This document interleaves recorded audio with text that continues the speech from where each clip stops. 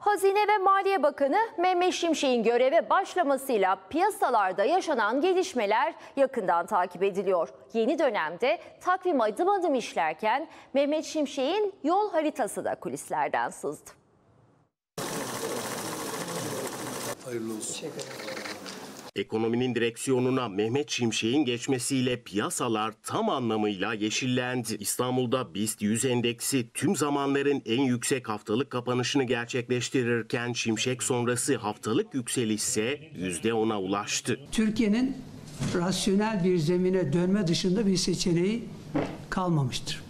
Şimşek göreve başlar başlamaz bu açıklamayı yapmış, sözleri ortodoks politikalara dönüş olarak yorumlanmıştı. Şimşek'in yol haritası da kulislerden sızdı.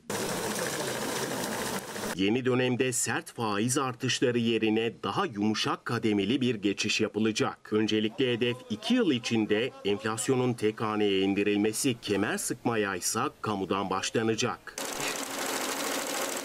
Kur korumalı mevduat uygulamasına da kademeli son verilmesi planlanıyor. Yeni ekonomik programla birlikte Körfez ülkelerinden 50, Batı'dan da 50 olmak üzere en az 100 milyar dolarlık bir yabancı yatırımın da Türkiye'ye girebileceği değerlendiriliyor.